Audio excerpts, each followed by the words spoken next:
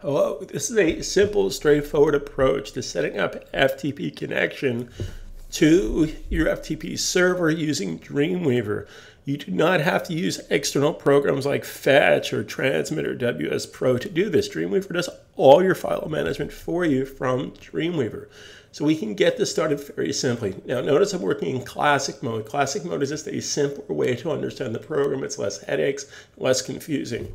So I'm going to start out by going to Site, New Site. Now notice there are two different settings for this. There's the basic, which sounds really straightforward, but it's not. It's going to confuse the heck out of you. And there's the advanced mode. I highly suggest you go to the advanced mode. So over here is the name of our site that we're going to set up. So we're just going to take name of the site and copy. Why am I copying this way? There's no typos. Command C Macintosh, Control C Windows. And I'm going to put the site name right here. This is just for our reference. We could call this um, monkey head if we want to. We're going to call the name of the site. Next, we're going to tell Dreamweaver where we're going to keep the site on our computer. This can be kept any place. I happen to put my sites in a folder called websites, which is on my desktop. Inside the websites folder is my separate website development folders for my clients based on their domain name. So I'm basically going to select the folder, go to websites, pick this as my root folder for that particular website, which is Tarragon Home. So then I say www.paste So this is step one. This is a three-step process. Step one, local information. We don't have to pay attention to this images folder because it's not necessary. I don't use it. Okay, then we're going to go to remote information and we're going to pick FTP, which stands for Fire, File Transfer Protocol. In case you're a barbecue this weekend or dinner party and that subject comes up, now know that it means File Transfer Protocol. Now, depending on your server, if you host with GoDaddy or Network Solutions or Register.com, they might require to put in the actual FTP dot. Well, my server does not require that. So I'm just going to put in name of my main followed by dot .com. Host directory is going to be www forward slash. Now, some servers call this public underscore HTML. My server calls it www forward slash. Then I'm going to pick the username, and I can simply copy and paste. Then I'm going to pick the password. I can simply copy and paste. Now, this FTP passive, this depends on your server connection. I'm sorry, on your ISP connection. I use, I use um, Time Warner cable. They don't require passive FTP. But then in the office here, I use RCN. They require passive FTP. So the difference being if your connection hangs up, use passive FTP. If it doesn't hang up, don't use passive FTP. But in my connection here, I'm going to pick use passive FTP. The difference being if it hangs up, then use it or don't use it. It's toggle on or off. So if this is correct, so if your information is correct, and I'm going to pick use passive FTP and hit test, it's going to make a successful connection to your server via Dreamweaver. So that's step two. Step one was local information, which we set up. Step two is remote information. Step three is testing server. Testing server basically puts it on a certain part of your server in a separate folder, if in fact you choose to use it that way. So this is a simple, simple process. I go to testing server.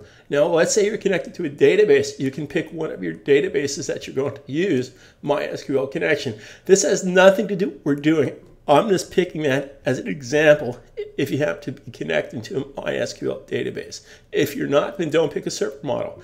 Then I simply pick FTP. This pre-populates this from the previous page. It pre-populates the information from the previous page. Now, the only thing I need to pay attention to here is that it assumed that my testing server folder was www. That's not true. So I'm going to cut this from here, and I'm simply going to put www over here. Dot. So if this is correct, I hit test, and it connects to my testing server. So let's see how that works. So I'm simply going to hit OK. Okay, so now if I click right here, this is going to bring up my split screen. The shortcut for this is Command Shift F hides this, Command Shift F opens this. Okay, so if I go to Window, Files, this hides it, Window, Files, opens it. So I can make myself a new file. So let's just simply make a new file. File, new. We're going to make an HTML file. We're going to save that inside of this folder called. Now let's assume that the index page is already sitting up there from the server that says under development coming soon. So this is simply called index version 1 for the client. Index underscore version 1 as opposed to version 2, version 3. So we can say my client site version 1. And if I could learn how to spell client, that would certainly help me. So I'm just going to put it in my new page and give this an H tag, command 1. It has an H tag. So now I want to publish this page to the server because I set up an FTP connection and I set up a testing server. I can simply go to File, Preview in Browser. I'm going to pick Safari, which I have set up by default as Option F12. Firefox I have set up as Command F12. You can set this up on your computer. If you're Windows, you're probably using Internet Explorer and Firefox and not Safari. So therefore, if I simply either do that, file, preview in browser, or click right here, I can upload the file. Now, very important step, the difference between uploading the file and publishing the file, uploading the file uploads via FTP.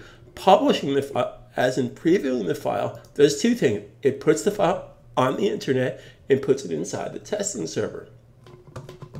So it's going to ask you a few questions. Do you want to put this on the testing server? Well, if I say no, nothing's going to happen. But I want to say yes. Then it's going to say any dependent files. Well, I don't have any dependent files. I just have text on my page. An example of a dependent file would be graphics, QuickTime, movie, logos. I'm going to say no. So it's going to take this page and physically, physically publish it to the web. This is now on the internet. Unlike other FT programs where you have to drag files, Dreamweaver doesn't require that. You can simply publish the files. Publish the files. Now, if I go back to Dreamweaver for a second, let's understand the difference between publishing the file and simply uploading the page. So I'm going to make a change here. I'm going to give this command 2, which is header 2. Command 3 is header 3. So my new page, wow. So now the choice I have is I can publish it back to the server by going to File, Preview in Browser, or I can simply upload the page. Now, if you upload the page by going to Command Shift U, upload the page, it's going to upload it to the server, dependent files, no, but then I would have to go back to my web page and refresh the page. By publishing the page to the testing server, basically it saves you the step of refreshing the page. It does you does it for you. So I just want to be extremely clear about this. Whether you go to File, Upload, Command Shift U, or Preview in Browser, they both upload the page to the server. Command Shift F. You also do that from right here. I can select this file and upload the file. I can select existing files and download the file. So let's say I want to download this page here. So I can select this page and download it. It's going to say you want to put dependent files. In this particular case, I'll say yes. So it's going to take that file and download it to my local folder. Okay, so here, if I refresh this, if I refresh the page, here's my file that I just downloaded. And there's my page. So FTP is very simple. Now this is a totally different setup from Dreamweaver CS5. It's visually different. It's the same premise, but it's just visually different.